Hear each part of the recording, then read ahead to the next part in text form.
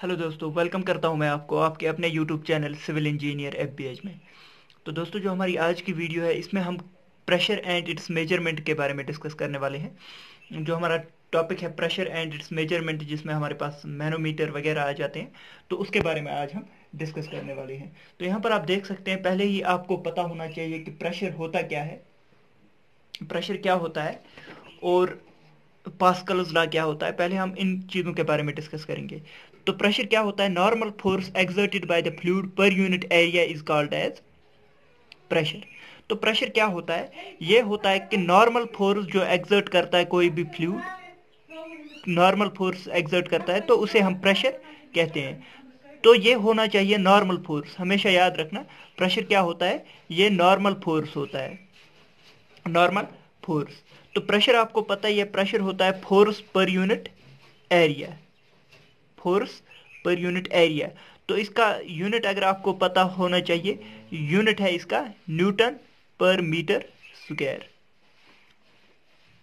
newton per metre square तो ये चीज़ें आपको याद होनी चाहिए। It is a scalar quantity ये हमेशा स्केलर क्वांटिटी होती है। इस, इसका नेचर हमेशा कंप्रेसिव होता है, क्योंकि जो प्रेशर होता है, वो हमेशा कंप्रेस करने की कोशिश करता है तो नेचर इसका कंप्रेसिव होता है। It has magnitude but no direction इसका मैग्नीट्यूड होता है मतलब डायरेक्शन नहीं होता है। तो इसीलिए ये स्केलर क्वांटिटी है। इसके बाद आ जाते हैं हम पास्कल्स लॉ क्या बोलता है? तो पास्कल्स लॉ क्या है? Pascal's law state that intensity of pressure for a fluid is equal to equal in all the direction लेकिन फ्लूड जो है, वो रेस्ट में होना चाहिए। अगर फ्लूड हमारा रेस्ट में है फ्लूड अगर रेस्ट में है, और अगर हम इस फ्लूड में यहाँ पर देखेंगे, यहाँ पर ये जो पॉइंट है, इस पर कितना प्रेशर एक्ट कर रहा है। तो प्रेशर जो है वो हर एक डायरेक्शन में सेम होगा। मतलब एक्स डायरेक्शन में भी पी एक्स अगर वाई डायरेक्शन में पी वाई लग रहा है और जेड डायरेक्शन में जो है पी जेड लग रहा है तो इस पॉइंट पे P X is equal to P Y is equal to P Z हर एक डायरेक्शन में इक्वल प्रेशर लगता है। लेकिन कंडीशन क्या है? कंडीशन है ये जो फ्लूड है, ये रेस्ट में होना चाहिए। रेस्ट में होना चाहिए। अगर एक फ्लूड रेस्ट में है तो हर एक डायरेक्शन में प्रेशर जो है, वो सेम एक्ट करता है। तो ये चीज़ आपको याद रखनी है। Fluid at rest fluid rest पे होना चाहिए। मतलब कि जो भी तीन डायरेक्शन होती है, हमारे पास P X P Y and P Z जो हमारे पास है तो यहाँ पर P X is equal to P Y is equal to P Z मतलब कि हर एक डायरेक्शन में प्रेशर जो है, वो सेम होना चाहिए। तो पास्कल्स लॉ के बेसिस पे हमारे पास एक छोटा सा न्यूमेरिकल बन जाता है हाइड्रोलिक प्रेस का। हाइड्रोलिक प्रेस का हमारे पास एक न्यूमेरिकल बन जाता है। तो ये आपको याद रखना है। यहाँ पर आप देख सकते हैं, हमारे पास एक हाइड्रोलिक प्रेस है। मतलब कि हमें क्या है, यहाँ पर हमने एक छोटा एरिया लिया हुआ है और इस पर हम फोर्स लगा रहे हैं। तो इस फोर्स की वजह से इस छोटे वाले एरिया पे अगर हमारे पास आपको पता ही है हमारे पास प्रेशर जो होता है वो फोर्स पर यूनिट एरिया है। अगर हम फोर्स बहुत ज़्यादा लगा रहे हैं और एरिया जो है वो बहुत कम है हमारे पास, अगर हमारे पास एरिया कम है तो प्रेशर जो है फ्लूड में वो ज़्यादा आ जाएगा।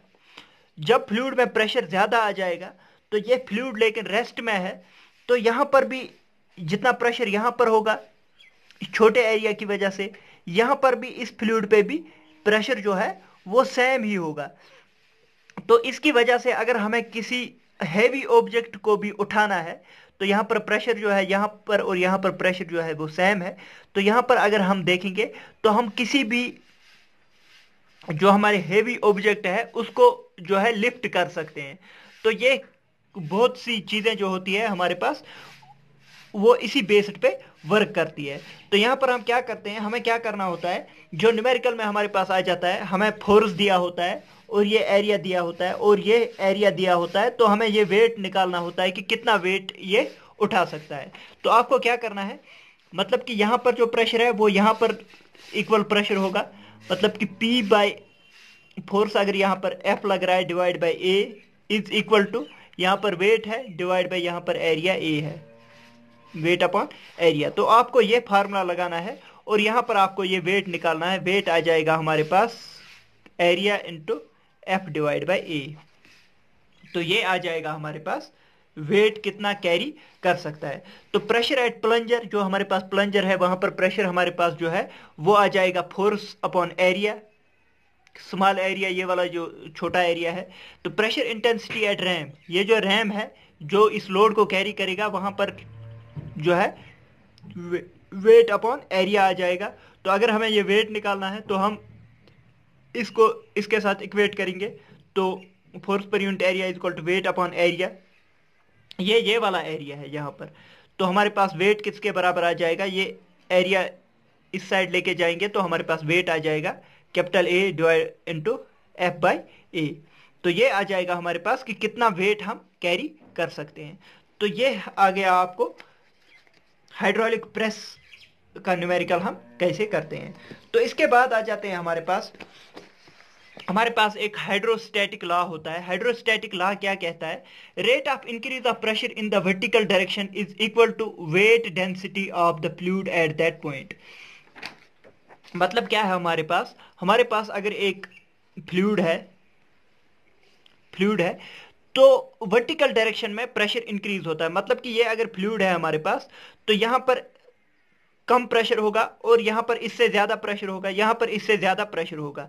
यह कह रहा है कि हमारे पास अगर हमें यहाँ पर प्रेशर देखना है तो rate of change of pressure in vertical direction is equal to is equal to weight density is equal to weight density rate of change of pressure with respect to vertical distance vertical distance ये हुआ Z vertical distance is equal to weight density weight density तो हमारे पास D weight density जो होता है weight density अगर आपको याद है, जब हमने पहला यूनिट पढ़ा था फ़र्स्ट वीडियो में रोह जी के इक्वल होता है।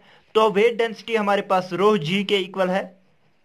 D P by D Z जो है, हम लिख सकते हैं रोह जी के इक्वल तो हमारे पास डी पी जो आ जाएगा, वो आ जाएगा रोह जी डी जेड तो यहाँ पर आप देख सकते हैं, ये हमारे पास इक्वेशन आ जाएगी। तो यहाँ पर मैं आपको दिखाऊँगा D P by D that rate of increase of pressure in vertical direction vertical direction मतलब D P by D Z मतलब कि ये हमारे पास एक फ्लूड है। तो यहाँ पर हम वर्टिकल डायरेक्शन में इसको जेड लेके चलते हैं। तो यहाँ पर अगर हमें निकालना है तो D P variation of pressure with respect to vertical distance is equal to weight density weight density आपको पता ही है रो जी के इक्वल होता है तो D P by D Z जो है हमारे पास, वो आ जाएगा रो जी के इक्वल और अगर हमें फिर निकालना है, यहाँ पर प्रेशर निकालना है तो डी पी हमारे पास आ जाएगा रोह जी डी जेड तो इसको इंटीग्रेट करेंगे. इंटीग्रेट करेंगे तो हमारे पास पी आ जाएगा. P is equal to rho G integration of D Z जो है, वो जेड के इक्वल आ जाएगा. तो उसी को हम प्रेशर कहते हैं। तो प्रेशर आपने देखा होगा कि प्रेशर क्या होता है हमारे पास? रो जी एच हम जनरली लिखते हैं। तो यहाँ पर मैंने लेकिन जड लिखा हुआ है। मैंने हाइट को जो है, वो जड की टर्म में लिया हुआ है। तो यहाँ पर आप देख सकते हैं pressure is equal to rho G H H मतलब ये हाइट तो ये हमारे पास प्रेशर आ जाता है। तो ये कैसे निकालते हैं हम? हाइड्रोस्टैटिक लॉ से निकालते हैं। तो यहाँ पर आप देख सकते हैं जेड अगर हमें निकालना है वर्टिकल डिस्टेंस ये आ जाएगा पी अपॉन रो जी जैसे कि हमें पता है जड जो होता है, ये प्रेशर हेड हमारे पास होता है। तो ये चीज़ें आपको याद रखनी है। तो अभी तक हमने क्या क्या क्या पढ़ा? एक तो हमने प्रेशर पढ़ा। प्रेशर क्या होता है? प्रेशर होता है normal force upon area newton per metre square unit आ जाएगा। इसके बाद हमने क्या पढ़ा? इसके बाद हमने पढ़ा पास्कल लॉ पास्कल में हमने क्या पढ़ा? पास्कल में हमने पढ़ा कि अगर हमारे पास एक फ्लूड रेस्ट में है तो यहाँ पर एक पॉइंट पे जो ऑल डायरेक्शन में प्रेशर है, वो सेम होगा। मतलब कि P X is equal to P Y is equal to P Z होगा। एट रेस्ट हमारे पास प्रेशर जो है, वो सब डायरेक्शन में सेम होता है। तो इसके बाद हमने नेक्स्ट पढ़ा। पास्कल लॉ की एक एप्लीकेशन पढ़ी, हमने हाइड्रोलिक प्रेस पढ़ा। हाइड्रोलिक प्रेस में हमने देखा कि अगर हम यहाँ पर प्रेशर अपॉन एरिया लगाते हैं तो वेट हम कैरी कर सकते हैं अपॉन एरिया तो वेट अगर हमें निकालना है तो वो आ जाएगा area into P by A तो ये हमें हाइड्रोलिक प्रेस का फार्मूला हमने पढ़ लिया। इसके बाद हमने हाइड्रोस्टैटिक प्रेशर हाइड्रोस्टैटिक लॉ पढ़ा। हाइड्रोस्टैटिक लॉ हमारे पास क्या बोलता है? Change in pressure upon in vertical direction is equal to weight density is equal to weight density तो वेट डेंसिटी हमें पता ही है रोह जी के इक्वल है। अगर आपको याद नहीं है तो पहले, पहला वाला वीडियो आप देख सकते हैं। तो डी पी जो है D P by D Z हमारे पास रोह जी के इक्वल आ जाएगा। और डी पी अगर प्रेशर हमें निकालना है तो वो आ जाएगा रोह जी डी जेड के इक्वल तो जब हम इंटीग्रेट करेंगे तो प्रेशर हमारे पास क्या आ जाएगा? रोह जी जेड के इक्वल या फिर हम जनरली इसको P is equal to rho g h लिखते हैं। एच हमारे पास हाइट है। तो ये आपको ये चीज़ें पता होनी चाहिए। इसके बाद मैं आपको एक और चीज़ बता रहा हूँ, एक और चीज़ बता रहा हूँ। अगर आपको आपको कभी कभार ऐसे क्वेश्चंस ऑब्जेक्टिव में पूछे जाते हैं तो अगर आपको ये तीन जार्स दिए हैं सेम साइज़ के जार्स है तो यहाँ पर जार्स में हमें जो है इस पॉइंट पे यहाँ पर भी इस सेम हाइट पे और यहाँ पर भी सेम हाइट पे। इनकी जो है, अगर इनकी जो है हाइट भी सेम ही है मतलब कि फ्लूड जितना भरा हुआ है तो वो भी सेम ही है। मतलब कि यहाँ पर भी प्रेशर यहाँ पर भी प्रेशर और यहाँ पर भी प्रेशर सेम होगा। सेम वर्टिकल हाइट पे प्रेशर जो है वो सेम होगा। लेकिन अगर हमारे पास इसमें फ्लूड डिफरेंट होगा तो ये फ्लूड पे भी डिपेंड करता है, क्योंकि डेंसिटी पे डिपेंड करता है। तो अगर यहाँ पर कुछ हैवी फ्लूड है तो इसमें जो है प्रेशर ज़्यादा होगा और यहाँ पर इससे हैवी फ्लूड है तो यहाँ पर इससे भी प्रेशर ज़्यादा होगा। तो ये चीज़ें आपको याद रखनी है। अगर हमारे पास सेम फ्लूड है और सेम हाइट पे है तो प्रेशर हमारे पास सेम होगा। लेकिन अगर हमारे पास डिफरेंट फ्लूड्स है तो उसके केस में प्रेशर जो है वो डिफरेंट होगा। जिसकी डेंसिटी ज़्यादा होगी, उसका प्रेशर जो है वो ज़्यादा होगा। तो ये चीज़ें आपको पता होनी चाहिए। इसके बाद आ जाते हैं यूनिट्स ऑफ़ प्रेशर प्रेशर के जो यूनिट्स होते हैं न्यूटन पर मीटर स्क्वायर होता है। हमारे पास यूनिट मैंने आपको पहले भी बताया प्रेशर क्या होता है हमारे पास? फोर्स पर यूनिट एरिया तो प्रेशर की यूनिट होगी न्यूटन पर मीटर स्क्वायर तो इसको हम पास्कल कहते हैं। ये चीज़ आपको याद रखना है। अगर आपको वन पास्कल दिया होगा वन पास्कल जो है, वो one newton per metre square के इक्वल होता है। और एक किलो पास्कल जो है ten raise power three pascal के इक्वल होगा। यहाँ पर भी किलो होता है, वहाँ पर टेन रेस पावर थ्री होता है हमारे पास। वन मेगा पास्कल जो है ten raised power six pascal के इक्वल होता है और वन बार जो है वो ten raised power five pascals के इक्वल होता है। तो ये चीज़ें आपको वैसे पता ही होगी। तो इसके बाद आ जाते हैं एटमॉस्फेरिक प्रेशर की जो वैल्यूज़ होती है, ये आपसे पूछी जाती है। तो एटमॉस्फेरिक प्रेशर की जो वैल्यूज़ है, ये आपको याद रखनी है। अगर आपको एटमॉस्फेरिक प्रेशर की वैल्यू याद रखनी है तो 1.01 point zero one into ten raise power five pascal. ये आपको पता ही होगा। 1.01 point zero one into ten raised power five pascal अगर हम किलो पास्कल के टर्म्स में लिखना चाहेंगे तो one zero one point three into kilo pascal. मतलब क्या हम इस दो, इसको दो पॉइंट आगे लेके जाएँगे तो ये आ जाएगा one zero one point three into ten raised power three क्योंकि हमने दो पॉइंट इसको आगे बढ़ाया तो ये बचेगा ten raised to three pascal. तो टेन रेस्ट पावर थ्री जो है, किलो पास्कल होता है तो one zero one point three kilo pascal आ जाएगा हमारे पास। तो ये चीज़ आपको पता होनी चाहिए। इसके बाद आ जाते हैं, अगर हम बार्स की टर्म्स में एटमॉस्फेरिक प्रेशर को लिखेंगे, ये सारे वैल्यूज़ जो है एटमॉस्फेरिक प्रेशर के वैल्यूज़ है। 1.013 बार हम लिख सकते हैं, और 76 सेंटीमीटर ऑफ़ मर्करी कॉलम हम इसको कह सकते हैं, या 760 M M of mercury column लिख सकते हैं सेंटीमीटर और एम mm. और अगर हम in terms of water column बोलेंगे तो ये आता है हमारे पास 10.3 metre height of water column तो ये चीज़ें जो है आपको याद होनी चाहिए। इसके बाद आ जाते हैं हमारे पास। इसके बाद की जो वैल्यू इसके बाद की जो यहाँ पर का जो टॉपिक है, बहुत ही इंपॉर्टेंट टॉपिक है। एक है एब्सोल्यूट प्रेशर क्या होता है गॉज प्रेशर क्या होता है एटमॉस्फेरिक प्रेशर क्या होता है, और वैक्यूम प्रेशर क्या होता है? बहुत ही इंपॉर्टेंट टॉपिक है। अगर आपको यह समझ में आ गया, मुझे लगता है आपका एक ऑब्जेक्टिव जो है, वो क्लियर हो जाएगा एग्जामिनेशन में। तो यहाँ पर आप देख सकते हैं हमारे पास क्या है। एक है हमारे पास एब्सोल्यूट प्रेशर क्या होता है? एक होता है हमारे पास वैक्यूम प्रेशर क्या होता है? गॉज प्रेशर क्या होता है? और एटमॉस्फेरिक प्रेशर क्या होता है? तो पहले हम देखेंगे कि एब्सोल्यूट प्रेशर क्या होता है। पहले मैं आपको कुछ चीज़ें बताऊँगा।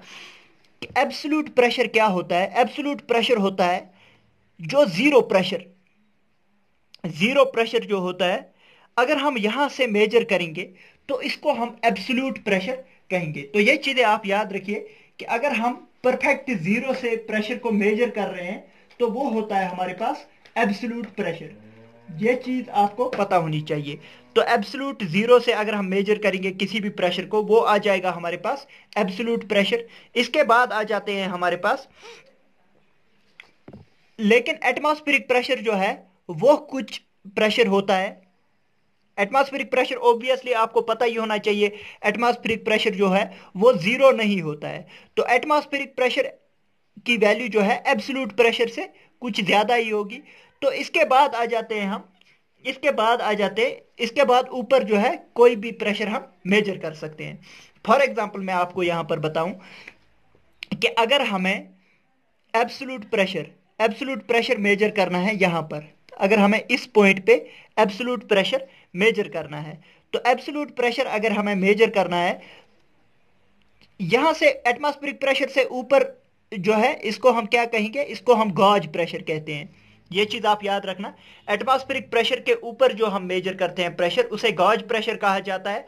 और जो एब्सोल्यूट ज़ीरो से हम मेजर करते हैं, उसे हम एब्सोल्यूट प्रेशर कहते हैं। तो पहले मैं आपको डेफिनेशन बताता हूँ, फिर मैं आपको समझाऊँगा कि क्या, कैसे हम इक्वेशन डिराइव करते हैं। It is the pressure with respect to absolute zero और complete vacuum absolute zero pressure से अगर हम प्रेशर मेजर करेंगे या कंप्लीट वैक्यूम से प्रेशर मेजर करेंगे तो उसे हम एब्सोल्यूट प्रेशर कहते हैं। It is actual pressure and is measured with aneroid barometer तो ये चीज़ आपको याद रखनी है, ये एनोरॉइड बैरोमीटर से हम मेजर करते हैं क्या? एब्सोल्यूट प्रेशर अगर हमें ज़ीरो से मेजर करना है। इसके बाद आ जाते हैं हमारे पास वैक्यूम प्रेशर वैक्यूम प्रेशर क्या होता है?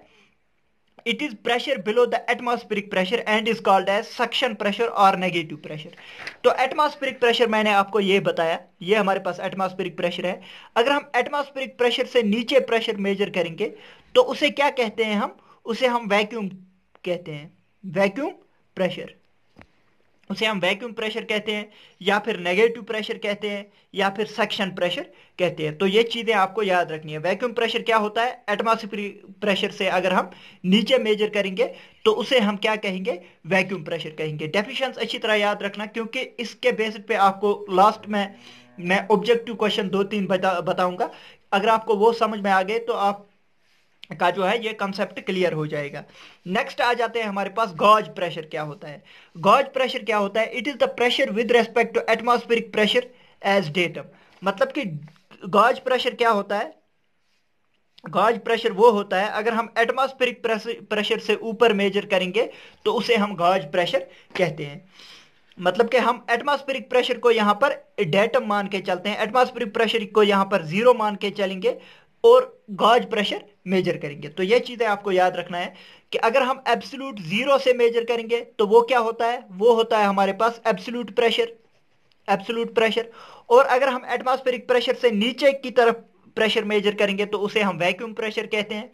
और अगर हम एटमॉस्फेरिक प्रेशर के ऊपर की तरफ़ मेजर करेंगे तो उसे हम गाज प्रेशर कहते हैं। ये तीन चीज़ें अगर आपको याद, समझ में आ गई तो गाज प्रेशर जो होता है ये गॉज प्रेशर होता है, ये मैनोमीटर से हम मेजर करते हैं, या फिर बर्डन गाज एक इंस्ट्रूमेंट होता है जिसे हम मेजर करते हैं।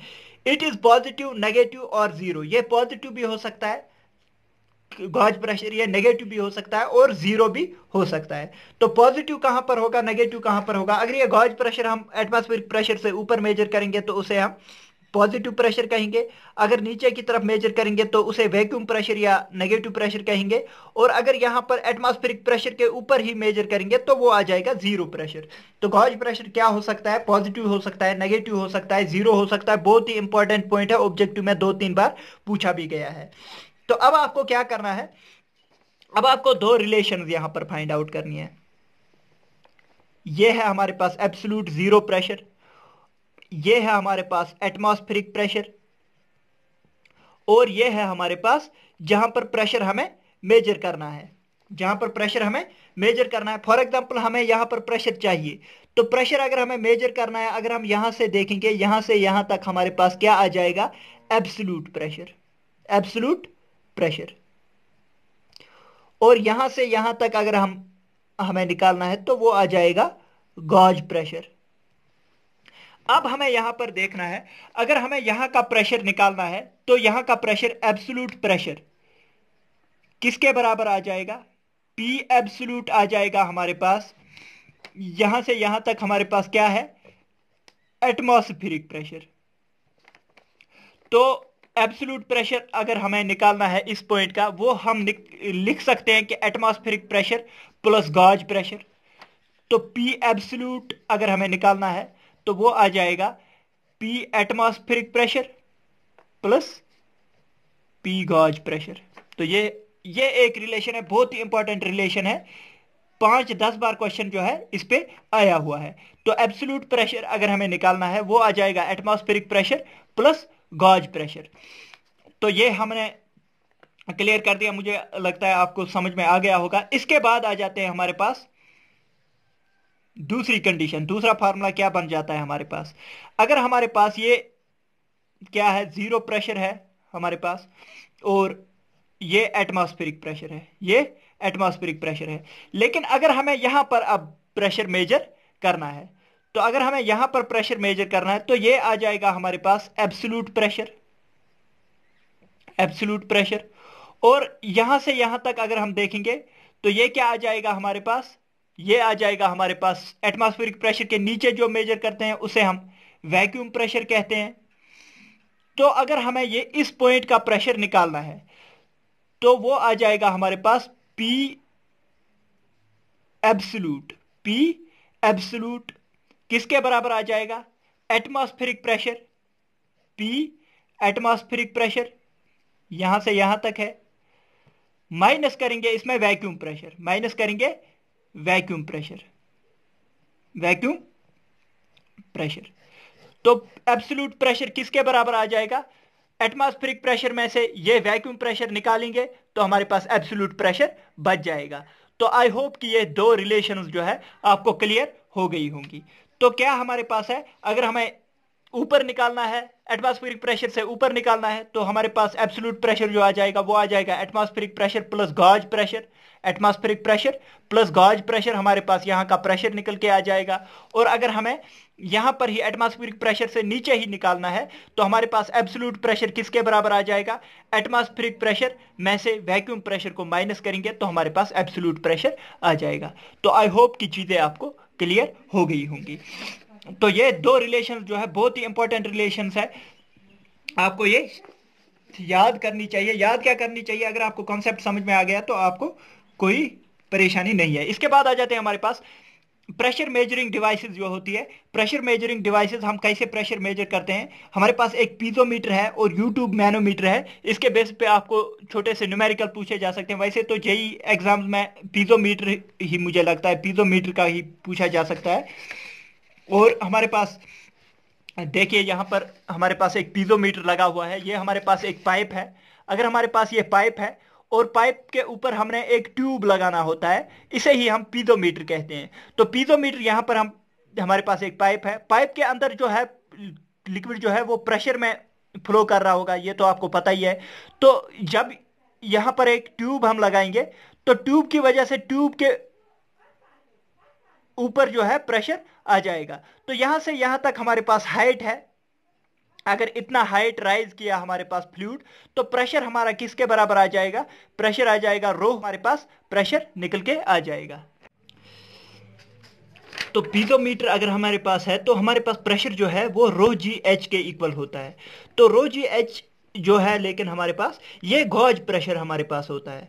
अगर हमें एब्सोलूट प्रेशर निकालना है तो एब्सोलूट प्रेशर के लिए हमें इसमें जो है एटमॉस्फेरिक प्रेशर को ऐड करना पड़ेगा, क्योंकि एटमॉस्फेरिक प्रेशर भी ऊपर से लग रहा होगा, और ये हमारे पास गॉज प्रेशर है फ्लूड की वजह से तो हमें अगर टोटल प्रेशर या एब्सोलूट प्रेशर निकालना है तो एब्सोलूट प्रेशर आ जाएगा, एक तो एटमॉस्फेरिक प्रेशर लग रहा है P atmospheric plus gauge pressure जो है, वो रो जी एच के इक्वल लग रहा होगा। तो आपको जनरली जो है हमारे पास एब्सोल्यूट प्रेशर हमें निकालने को नहीं पूछता है। हमें जो है गॉज प्रेशर ही निकालने के लिए पूछता है। तो आपको ये याद रखना है, P is equal to rho G H जो है हमारे पास प्रेशर निकल के आ जाता है। तो ये आपको याद रखना है कि अगर हमें एब्सोलूट प्रेशर निकालना है तो एटमॉस्फेरिक प्रेशर हमें ऐड करना पड़ेगा इस रो जी एच में, क्योंकि ऊपर से जो है एटमॉस्फेरिक प्रेशर भी लग रहा होगा। तो लेकिन हमारे पास जो है जनरली गाज प्रेशर ही हमें पूछा जाता है तो रो जी एच के इक्वल होता है। तो पीजोमीटर के बारे में आपको कुछ पॉइंट्स याद रखने हैं, जो जो है ऑब्जेक्टिव पॉइंट ऑफ़ व्यू से इंपॉर्टेंट होता है। Piezometer is a device and is open at both the ends ये पीजोमीटर जो होता है हमारे पास, ये जो छोटी छोटा ट्यूब होता है हमारे पास, ये दोनों साइड से ओपन होता है। मतलब इस साइड से भी ओपन होता है, इस साइड से भी ओपन होता है। One end is connected to the point where the pressure is to be measured and other it is other end is open to the atmosphere एक एंड ओपन होता है एटमॉस्फेयर में, और एक एंड को हम कनेक्ट करते हैं, जहाँ पर हमें प्रेशर मेजर करना होता है। ये हमारे पास पाइप है पाइप के अंदर हमने इसको इंसर्ट किया तो हमें प्रेशर निकल के आ जाएगा। हमें निकल के आ जाएगा कि ये फ्लूड कितना राइज करेगा इस पीजोमीटर ट्यूब में। तो फिर हमें प्रेशर जो निकालना होता है, हम सेंटर ऑफ़ पाइप से निकालते हैं।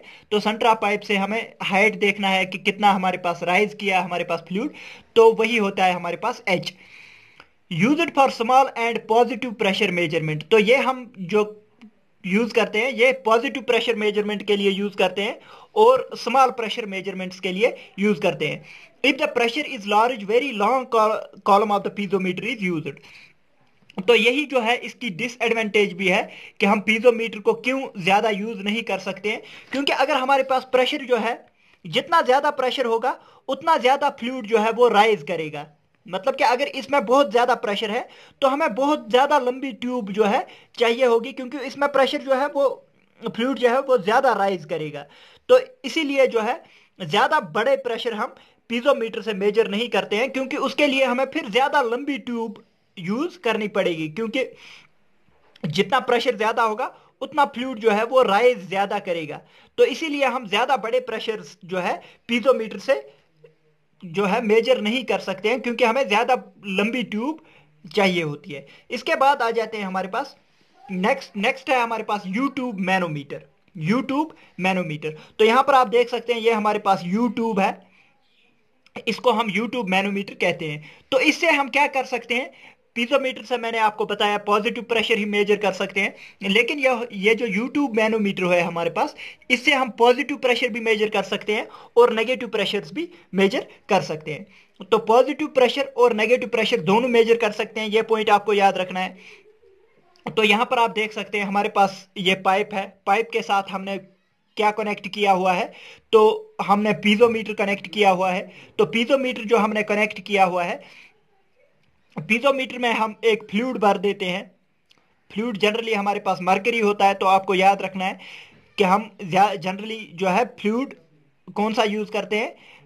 मरकरी फ्लूड जो मैंने ब्लैक कलर से यहाँ पर दिखाया हुआ है। तो यहाँ पर आप देख सकते हैं, ये हमने, हमारे पास पाइप है। इसके साथ हमने यूट्यूब मैनोमीटर को कनेक्ट किया हुआ है। तो ये जो है, इसमें प्रेशर होगा। ये कुछ प्रेशर जो है, इस प्रेशर की वजह से हमारा फ्लूड जो है बाहर यहाँ तक आ जाएगा। ये फ्लूड जो है, पाइप का फ्लूड प्रेशर की वजह से यहाँ तक आ गया। और ये हमारे पास ये जो फ्लूड है, ये यहाँ से राइज करेगा, थोड़ा यहाँ पर राइज करेगा एच टू हाइट तक राइज करेगा। अब अगर हमें प्रेशर निकालना है तो प्रेशर निकालना है तो यहाँ पर हमारे पास प्रेशर पी ए होगा। तो हमने पी ए ले लिया। और अगर हम देखेंगे ये सेम हाइट पे है तो यहाँ पर भी प्रेशर हमारा पी ए ही होगा। तो इस पॉइंट पे भी प्रेशर हमारा पी ए ही होगा। और अगर हम देखेंगे, यहाँ से यहाँ आ जाएँगे, यहाँ से यहाँ आ जाएँगे तो प्रेशर इंक्रीज हो जाएगा। मैंने आपको अभी बताया फ्लूड में जब हम नीचे की तरफ़ जाते हैं, नीचे की तरफ़ जाते हैं तो हमारा प्रेशर इंक्रीज होता है। तो यहाँ पर हमारे, हमारा पी ए प्रेशर है, और अगर हमें यहाँ पर प्रेशर निकालना है तो हमारे पास पी ए में से ऐड करना पड़ेगा, ये जो फ्लूड है। रोह जी एच ऐड करना पड़ेगा तो हमारे पास यहाँ का प्रेशर निकल के आ जाएगा। तो अगर हम यहाँ से यहाँ तक जाएँगे तो हमें रोह जी इस फ्लूड का डेंसिटी रोह ए इस फ्लूड का डेंसिटी रोह ए है G H one H one तो हमें यहाँ पर प्रेशर निकल के आ जाएगा।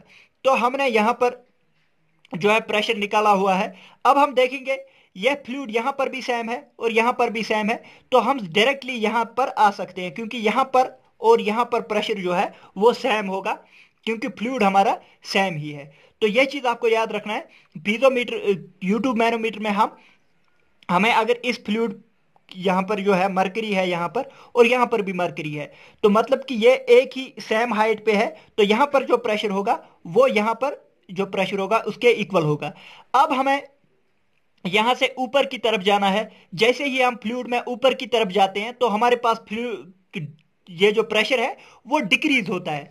तो मैंने आपको यहाँ पर दिखा दिया। आप देखिए यहाँ पर। मैं आपको दिखाऊँगा।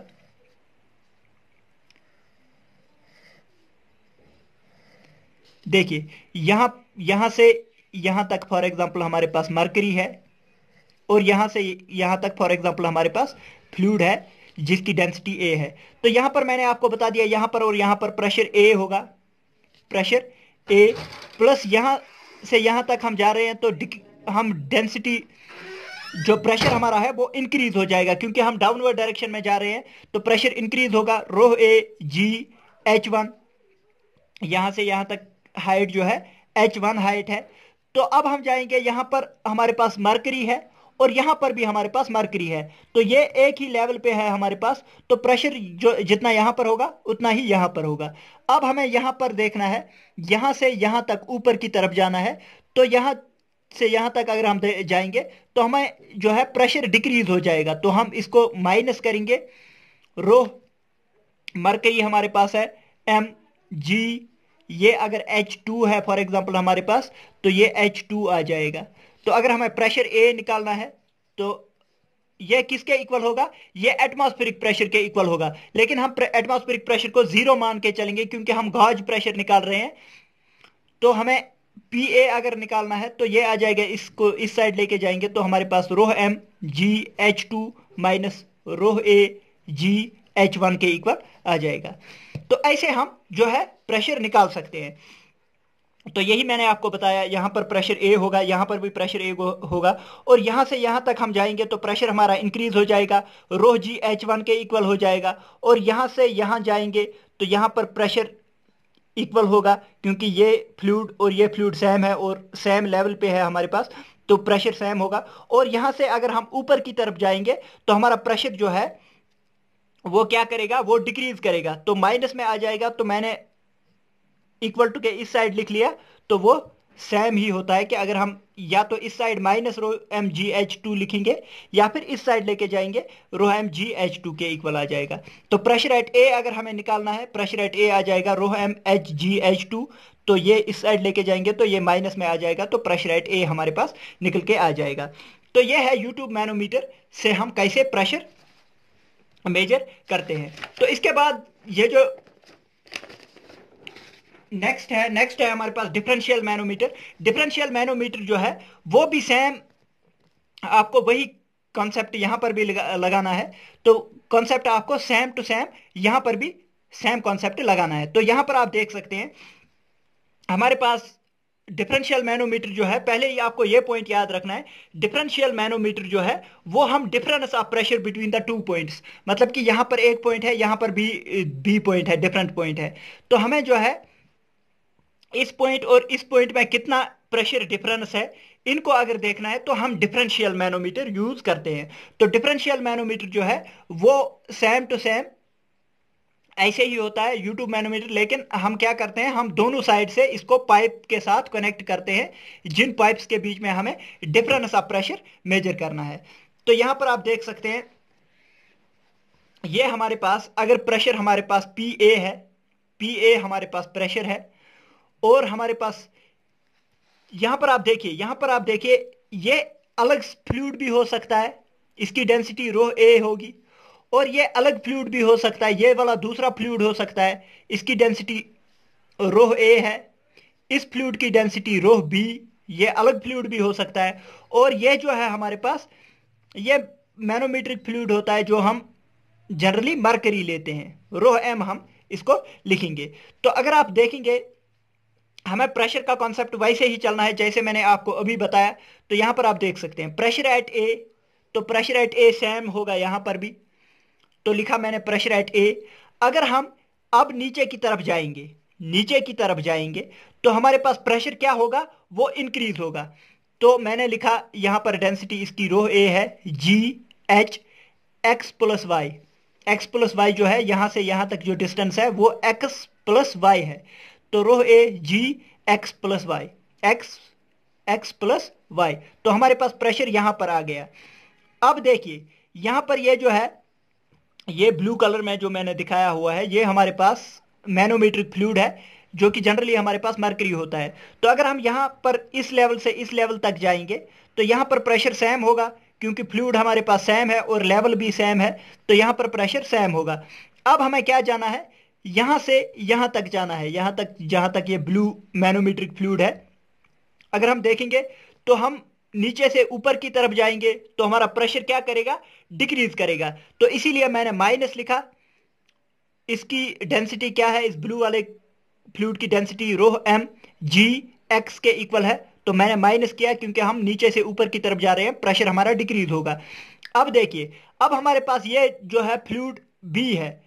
तो उसकी डेंसिटी बी है जी वाई तो यहाँ पर अगर हमें प्रेशर निकालना है तो ये आ जाएगा रो बी जी वाई और हमारे पास हम नीचे से ऊपर की तरफ़ जा रहे हैं तो हमारा डिक्रीज हो जाएगा pressure is equal to pressure at B ये किसके इक्वल होगा? प्रेशर एट बी के इक्वल तो ये सारा जो है इक्वेशन आपको निकल के आ जाएगा. तो यहाँ पर अगर आपको डिफरेंस ऑफ़ प्रेशर निकालना है पी ए यहाँ पर लिखा हुआ है, और पी बी को इस साइड लेके जाएँगे तो हमारे पास P A minus P B आ जाएगा, और फिर इसको, इन सारी टर्म्स को इस साइड लेके जाएँगे तो ये नेगेटिव में आ जाएगा, ये यहाँ पर नेगेटिव में हमने लिख लिया है, ये और ये पॉजिटिव में आ जाएँगे तो ये पॉजिटिव में लिखा हुआ है, ये यहाँ पर पॉजिटिव में लिखा हुआ है तो हमें डिफरेंस ऑफ़ प्रेशर निकल के आ जाएगा। तो जनरली आपको ये JE exam point of view से इतना कॉम्प्लिकेटेड जो है न्यूमेरिकल आपसे नहीं पूछा जाएगा। आपको यह पूछा जाएगा कि डिफरेंशियल मैनोमीटर जो है, वो किस लिए हम यूज़ करते हैं? हम डिफरेंस ऑफ़ प्रेशर मेज़रमेंट के लिए यूज़ करते हैं। तो यहाँ पर मैंने कुछ पॉइंट्स लिखे हुए हैं। बहुत ही इंपॉर्टेंट पॉइंट्स है। आपको जनरली जो है, या तो पीजोमीटर पे छोटा सा न्यूमेरिकल पूछ लेगा, या फिर आपको क्या पूछा जा सकता है? ये जो मैंने पॉइंट्स लिखे हुए हैं, इन्हीं से आपको क्वेश्चन पूछा जा सकता है। पहला ही आपको जो है, पहला ही आपको ये याद रखना है कि हमारे पास जो पीजोमीटर है पॉजिटिव प्रेशर मेज़रमेंट के लिए हम यूज़ करते हैं, या फिर गॉज प्रेशर मेज़रमेंट के लिए हम यूज़ करते हैं। तो पीजोमीटर आपको याद रखना है, पॉजिटिव और गॉज प्रेशर मेज़रमेंट के लिए हम यूज़ करते हैं। नेक्स्ट आ जाते हैं यूट्यूब मैनोमीटर। यूट्यूब मैनोमीटर जो है ये दोनों positive pressure and negative pressure दोनों को को मेज़रमेंट करने के लिए हम यूज़ करते हैं। इसके बाद आ जाते हैं हमारे पास inclined tube manometer. Inclined tube manometer. तो इनक्लाइन ट्यूब मैनोमीटर क्या होता है? इनक्लाइन ट्यूब ये जो यूट्यूब मैनोमीटर होता है सेम टू सेम ऐसे ही होता है। हम ऐसे कनेक्ट करते हैं इसको, और फिर इसको यहाँ पर ये जो है इनक्लाइनेड होता है। तो इनक्लाइनेड ट्यूब मैनोमीटर आपको याद रखना है। यूट्यूब मैनोमीटर की तरह ही ये पॉजिटिव प्रेशर भी मेजर करता है, और नेगेटिव प्रेशर भी मेजर करता है। लेकिन ये इंक्लिनेशन की वजह से जो है, इसकी सेंसिटिविटी ज़्यादा होती है। सेंसिटिविटी ज़्यादा होती है। तो इस सेंसिटिविटी ज़्यादा होने की वजह से जो है हमारे पास हम एक्यूरेट प्रेशर मेजर कर सकते हैं। तो ये चीज़ आपको याद रखना है कि हमारे पास जो इंक्लाइन ट्यूब मैनोमीटर होता है, ये same to same U tube manometer होता है मतलब कि पॉजिटिव प्रेशर भी मेजर कर सकते हैं नेगेटिव प्रेशर भी मेजर कर सकते हैं, लेकिन इस इंक्लिनेशन की वजह से सेंसिटिविटी ऑफ़ फ्लूड जो है वो इंक्रीज हो जाती है, इसीलिए हम एक्यूरेट प्रेशर जो है, इससे यूट्यूब मैनोमीटर से ज़्यादा एक्यूरेट प्रेशर हम मेजर कर सकते हैं, अगर हमारे पास एक इंक्लाइन ट्यूब मैनोमीटर होता है। तो ये आपको याद रखना है both positive and negative pressure mostly positive generally हम पॉजिटिव ही लेते हैं, लेकिन दोनों मेजर कर सकते हैं। But is more sensitive more sensitive का मतलब हो गया प्रेशर हम ज़्यादा एक्यूरेटली मेजर कर सकते हैं। इसके बाद आ जाते हैं हमारे पास डिफरेंशियल और इन्वर्टेड डिफरेंशियल डिफरेंशियल मैनोमीटर जो मैंने आपको अभी बताया, यहाँ पर ये जो डिफरेंशियल मैनोमीटर है तो इसकी वजह से हम क्या करते हैं, हम प्रेशर डिफरेंस को मेजर करते हैं। तो different pressure difference between the two point इससे हम मेजर करते हैं किससे? डिफरेंशियल और इन्वर्टेड डिफरेंशियल मैनोमीटर इसके बाद आ जाते हैं हमारे पास बर्डन गाज इससे हम क्या करते हैं? Pressure at A point measure करते हैं। एक पॉइंट पे प्रेशर अगर मेजर करना है तो बर्डन गाज यूज़ करते हैं। इसके बाद आ जाते हैं हमारे पास मैकेनिकल गाजेस मैकेनिकल गाजेस जो होते हैं, उनसे हम हाई प्रेशर मेजर करते हैं। हाई प्रेशर मेजर करते हैं। मैकेनिकल गाजेस आपको पता ही होने चाहिए।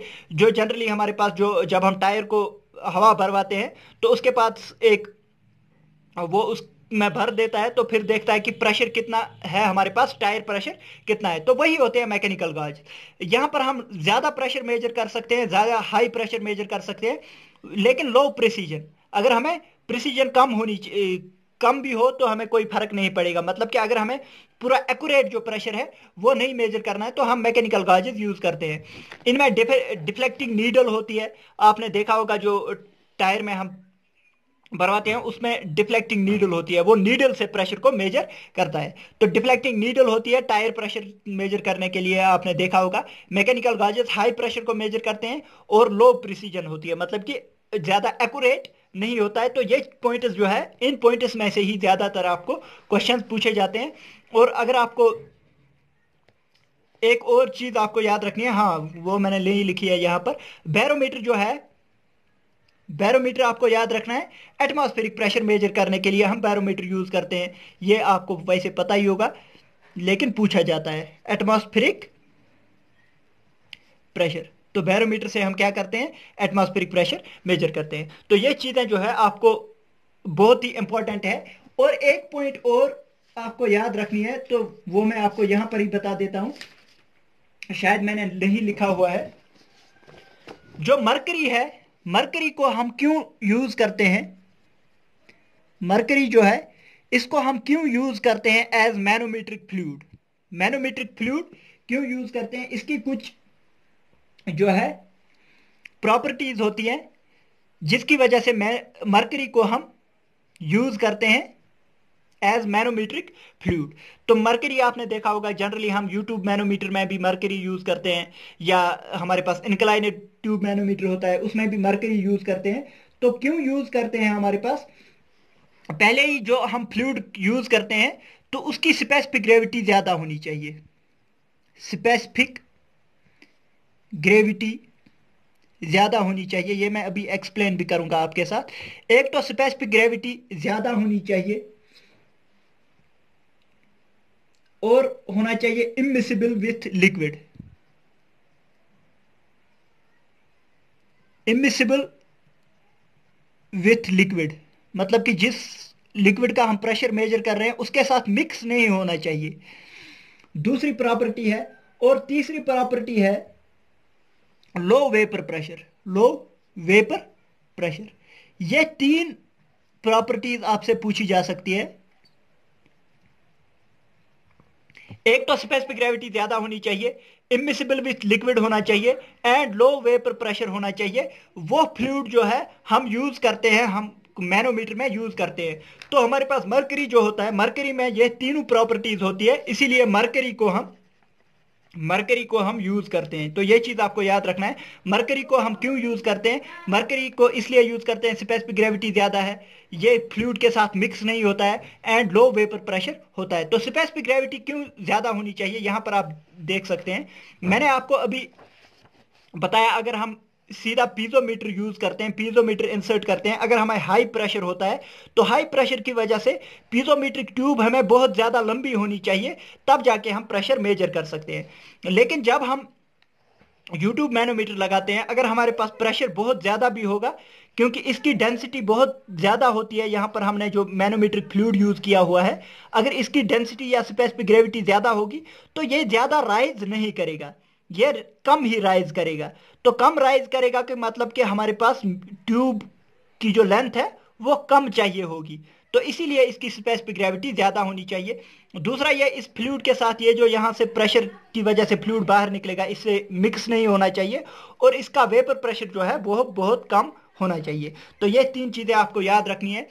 आपको, मैंने दो तीन बार ये ऑब्जेक्टिव क्वेश्चन भी पूछा पूछा गया है कि जो हम मैनोमीटर फ्लूड यूज़ करते हैं, उसमें कौन कौन सी प्रॉपर्टीज़ होनी चाहिए? तो ये तीनों प्रॉपर्टीज़ आपको याद रखनी है। ये तीनों प्रॉपर्टीज़ एक फ्लूड में होनी चाहिए। तो इसी के साथ मैंने आज की वीडियो में जो है कंप्लीट कर लिया है। किसको? मैंने कंप्लीट कर लिया है। Pressure and its measuring devices तो पूरा जो है चैप्टर एक ही वीडियो में कंप्लीट हो गया तो दोस्तों, अगर आपको वीडियो पसंद आई है, वीडियो को लाइक कीजिए, शेयर कीजिए अपने दोस्तों के साथ और सब्सक्राइब कीजिए हमारे चैनल सिविल इंजीनियर एफबीएच को। थैंक यू दोस्तों, thank you for watching the video.